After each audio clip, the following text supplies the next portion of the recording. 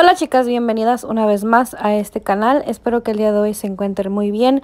El día de hoy les traigo esta propuesta de maquillaje para cualquier ocasión, pero también está perfecto para el día de San Valentín. El día de hoy estoy utilizando productos de Bisú para realizar este look de maquillaje.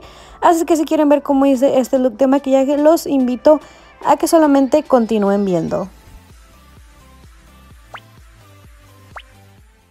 Como prebase para las sombras, el día de hoy voy a estar tomando este corrector de CoverGirl y este es en el tono Natural Ivory. Este es un tono muy clarito, así es que es perfecto para la prebase de sombras.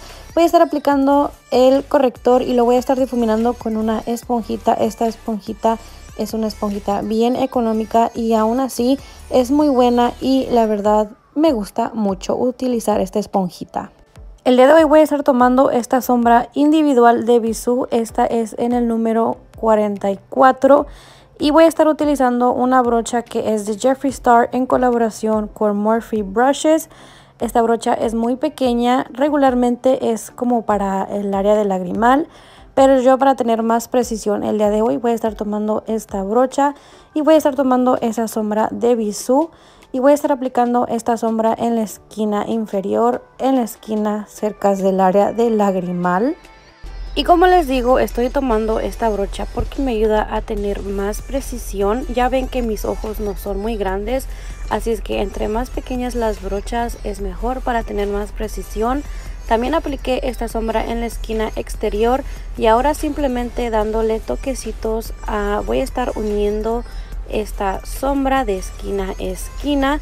Y por supuesto voy a estar aplicando más de esta sombra porque como pueden ver pues aún me falta mucho por aplicar para que tenga una mayor intensidad así es que solamente aplico a toquecitos para que se vea más intensa. Ahora ya limpié un poco la brocha sacudí el exceso de sombra que pueda tener esta brocha y simplemente voy a estar dándole movimientos circulares y de un lado hacia el otro. Pero como pueden ver estoy tratando de concentrarme en el puro bordo donde quedó esa línea marcada de la sombra. Esta brocha es pequeña pero es perfecta para que la sombra no se suba más arriba. Yo no quiero que la sombra se suba más arriba porque no quiero que se vea tan intenso este look de maquillaje. Entonces voy a estar concentrando en dándole movimientos circulares y de un lado hacia el otro para poder tener un mejor difuminado.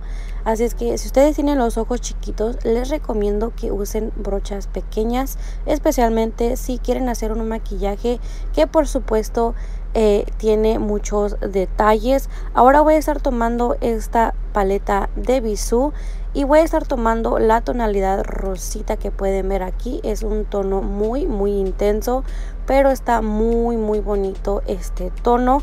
Y voy a estar aplicando esta sombra con una brocha de Luxie como pueden ver también esta brocha es muy pequeña.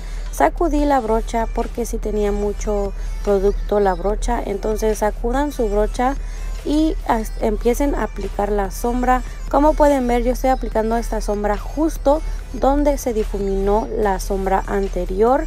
Y estoy aplicando esta sombra bien cuidadosamente dándole movimientos circulares y también de un lado hacia el otro para asegurarme de unir esta sombra con la sombra anterior pero también a difuminarla.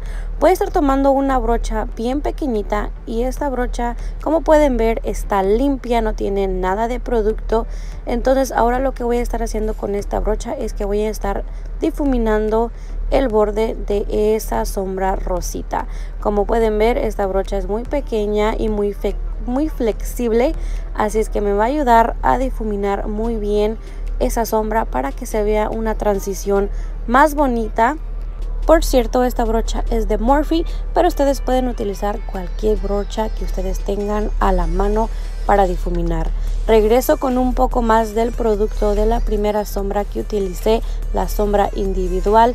Y como pueden ver, estoy aplicando un poquitito más para unir aún así más las sombras, pero también porque se perdió un poquito de esa tonalidad. Regreso con la otra brocha y apliqué bien poquitito también del producto de la sombra rosita y simplemente otra vez para que no se pierda esa tonalidad y para unir todo muy muy bien esto te va a ayudar a que tus sombras se vean bien potentes pero bien difuminadas y pues un poquitito más a difuminar para que todo quede muy muy bien ahora voy a estar pasando y voy a estar haciendo un cut crease y para eso voy a estar tomando este corrector que es de Elf Cosmetics. Como ustedes ya saben, si ya me persiguen por mucho tiempo, saben que este es uno de los correctores favoritos y este corrector me gusta muchísimo por la simple razón de que es de alta cobertura y ayuda mucho con la aplicación de las sombras, ayuda a que las sombras se mantengan muchísimo más tiempo en los ojos y también para hacer el corte se los recomiendo es buenísimo y aparte pues es económico. Así es que voy a estar haciendo el corte y voy a estar haciendo un halo eye el día de hoy y para este corte me gusta tomar una brocha en lengua de gato y esta brocha siempre es la misma que utilizo.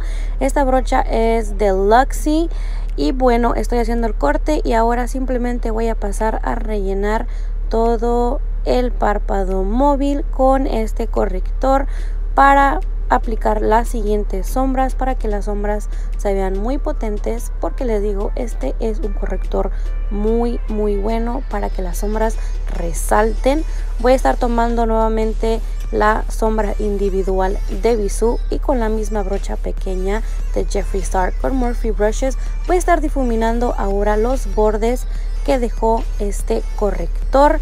Y como les digo esta brocha es pequeña y es perfecta para tener más precisión. Voy a estar tomando nuevamente la brocha de Luxy y con la misma sombra rosita voy a repetir el mismo proceso difuminando ahora el borde de la sombra anterior pero también aplicando la sombra rosita para que se note para que resalte para que se vea una degradación muy muy bien y pues el look se vea muy bonito. Y para este paso hay que tener mucho cuidado mis chicas y mucha paciencia porque si tienes que pues aplicar bien cuidadosamente estas sombras y simplemente también puedes dejar un espacio en el centro. Como pueden ver con la brocha que utilicé para difuminar ahora estoy difuminando los bordes de un lado hacia el otro y estoy tratando de que se note que es como un rosita bien tiernito en el centro de el ojo. Ya después cuando difumine muy bien todo esto voy a pasar nuevamente a la, al cuarteto y voy a estar tomando la sombra blanca simplemente para sellar muy bien el centro del ojo. Y para eso estoy utilizando una brocha que también es de Luxy pero esta brocha es en lengua de gato entonces voy a estar sellando muy bien ese corrector y nuevamente para asegurarme de que todo quede bien difuminado. Regreso otra vez más una vez más con la brocha pequeña de Luxy y difumino un poquitito más los bordes. Ahora voy a estar pasando con este esta es una sombra metálica tiene brillos es muy bonita esta sombra, es una sombra líquida. Lo que voy a estar haciendo es que voy a estar aplicando poquito de esta sombra en líquido con glitter detrás de mi mano y voy a estar agarrando esta sombra con la yema de mi dedo y la voy a estar aplicando justo en el centro del ojo. Lo que quiero es básicamente quitarle los brillos a esta sombra y simplemente que se vea muy brillosito este look. Como pueden ver todo lo demás quedó en el brazo y pues solamente me quedaron los glitters en el párpado. Voy a estar tomando nuevamente la sombra individual de Bisú y ahora lo que estoy haciendo es que voy a estar difuminando un delineador negro que apliqué en la línea de agua. Este delineador es el de Maybelline New York es el Black is Black entonces apliqué la sombra de Bisú y ahora estoy aplicando la sombra rosita. Y voy a estar difuminando muy bien porque quiero que también esté intenso la parte inferior de los ojos. Y ahora voy a pasar y simplemente voy a difuminar el borde con la misma brocha que he utilizado para hacer la difuminación el día de hoy. Ahora voy a pasar y voy a aplicar un poquito de iluminador en el hueso de la ceja y para eso estoy utilizando un iluminador. Este es el de Wedding Wild este es el Precious Petals. Y también voy a estar pasando a iluminar el área lagrimal Apliqué un poco de rimen fuera de cámara, chicas, para adelantar más este proceso. Y este es el resultado final. Ojalá y les haya gustado muchísimo este look de maquillaje. Si les gustó, por favor, no se les olvide suscribirse a este canal si aún no lo han hecho. Regálenme un like y muchísimas gracias por ver este video. Las quiero con todo mi corazón y las veo en un próximo video. Bye bye.